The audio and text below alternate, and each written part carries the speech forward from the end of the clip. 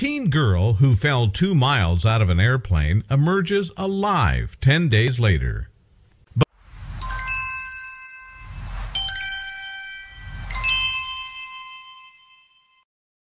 Although flying an airplane is usually safe when handled by professionals, plenty of people still harbor a serious phobia of taking to the blue skies. It's an understandable fear. After all, human beings weren't made to fly. More often than not, commercial flights are uneventful, except for perhaps a little bit of turbulence. Sometimes, however, things can go horribly wrong, and it's those stories that tend to make the news. When a teenager boarded a flight from Peru to Germany with her mother, she expected to be home in time for Christmas. She had no idea that she was putting her very life on the line.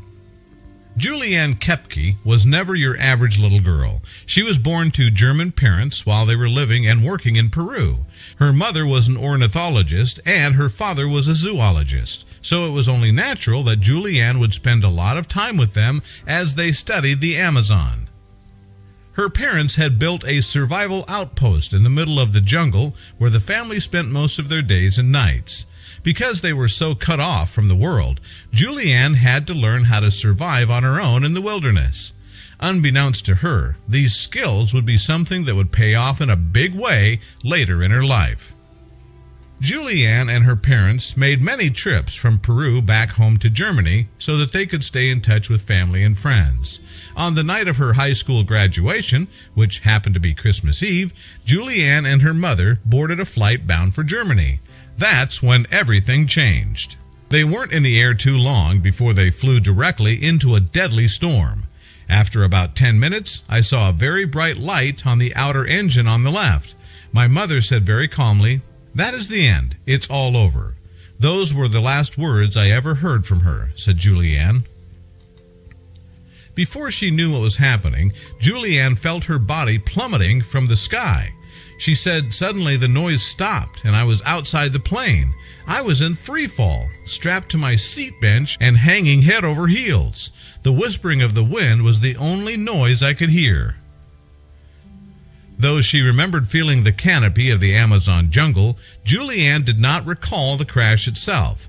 However, crash she did, and for 10 harrowing days she was just a teenager, totally cut off from the outside world, forced to survive alone in the jungle. Without her glasses, which were lost during the crash, she was forced to use one of her shoes to test the ground ahead of her as she tried to find help. She managed to find one bag of candy from the plane. It was all the food she had for 10 days. On her fourth day in the jungle, struggling with a broken collarbone, Juliane spotted carrion birds in the distance. She tracked them and discovered several victims from the plane crash. I was paralyzed by panic. It was the first time I'd seen a dead body, she said. Juliane was fading fast. She spent her days picking maggots from her wounds and praying for help. On the tenth day, a group of laborers coming to the jungle for lumber found her and were able to get her the help that she needed.